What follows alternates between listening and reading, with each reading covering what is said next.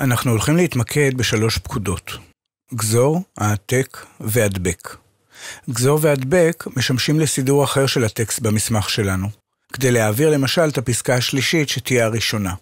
העתק והדבק משמשים לשכפול של טקסט. נוכל לשכפל את הפסקה השלישית ולשים עותק שלה בתחילת המסמך או במסמך אחר. תנאי ראשון לגזירה או העתקה של טקסט הוא סימון הטקסט. אנחנו רוצים למשל להעביר את פסקה 2, כאן למטה, למקומה. בשיעור הקודם למדנו לסמן פסקה שלמה. עמדנו כאן על השוליים מצד ימין מול הפסקה והקשנו הקשה כפולה כדי לסמן את הפסקה. עכשיו, כשהפסקה מסומנת, אנחנו רוצים לגזור אותה, כלומר להוציא אותה ממקומה כאן, ולהדביק אותה במקומה הראוי. נוכל לגזור אותה בכמה דרכים.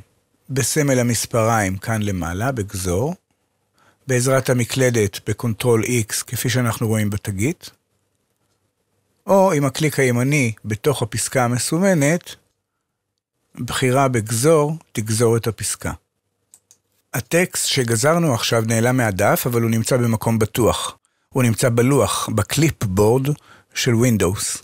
הלוח או ה clipboard של Windows יכול להכיל פריט אחד כל פעם. הוא שומר את הגזירה או את ההעתקה האחרונה שעשינו, כלומר, אם לא נדביק מיד את מה שגזרנו במקומו החדש, ונגזור קטע אחר, הקטע ההוא שהיה ייעלם. לכן, כאשר אנחנו גוזרים משהו, אנחנו רוצים מיד להדביק אותו במקומו החדש. ניגש עכשיו אל המקום שבו אמורה להיות פסקה 2, אני ניגש אל, למקום הזה, Enter לפתיחת שורה, ונדביק את הפסקה, נוכל להדביק אותה בכמה דרכים, או בסמל ההדבק כאן למעלה, או בעזרת לוח המקשים, Ctrl V, כמו שאנחנו רואים פה בתגית, או עם הקליק הימני במקום הרצוי, ובחירה בהדבק. יש לנו כמה אפשרויות של הדבקה, הדבקה ששומרת על העיצוב המקורי, הדבקה שממזגת את העיצוב המקורי עם העיצוב החדש כאן במסמך פה, או הטקסט בלבד. במקרה הזה אני בוחר את האפשרות שמור על העיצוב המקורי, והנה הדבקתי את פסקה 2 במקום שבו היא צריכה להיות.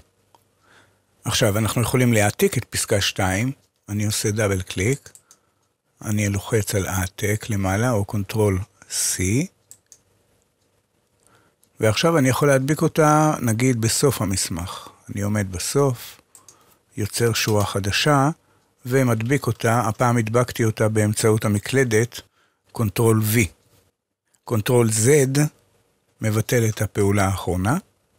בואו נבטל את כל הפעולות שעשינו, Control Z ועוד Control Z, ביטלתי את כל הפעולות שעשיתי מפתיחת המסמך.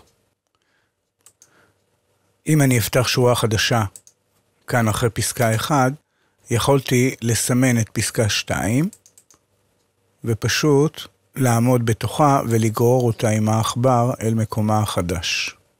זה פשוט ונוח כשהמרחק הוא קצר. אם המרחק הוא ארוך של כמה עמודים, אני אעדיף לגזור ולהדביק במקום החדש. יש טריק חביב שעושה את אותה פעולה מהמקלדת.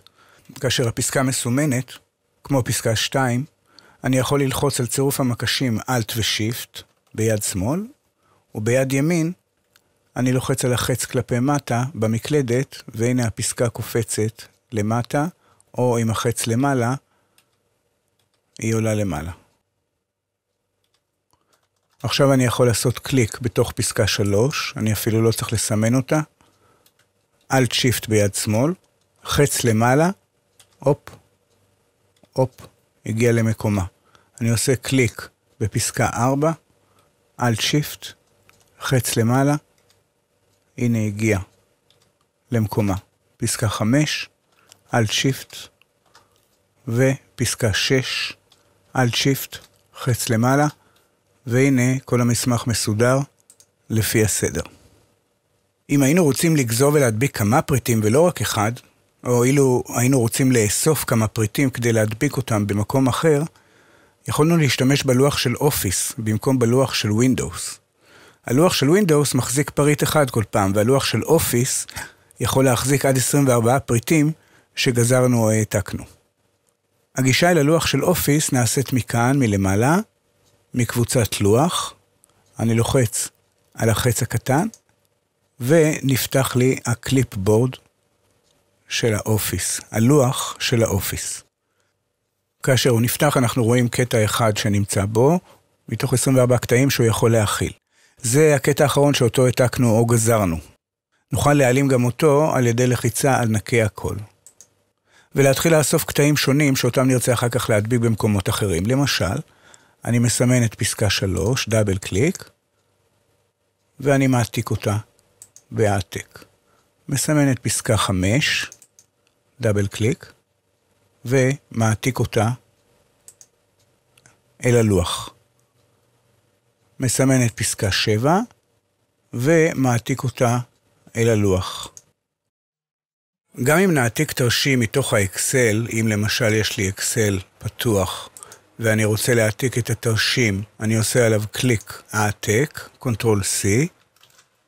ברגע שהעתקתי אותו, הוא נכנס אל ה clipboard של וורד, ועכשיו אני יכול לעמוד במקום מסוים בתוך הקובץ ולהדביק את התרשים שהעתקתי מתוך ה clipboard של האופיס.